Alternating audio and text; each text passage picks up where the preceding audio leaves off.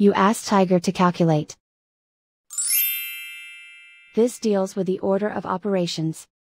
The final result is 4. Let's solve it step by step. Calculate any addition or subtraction, from left to right.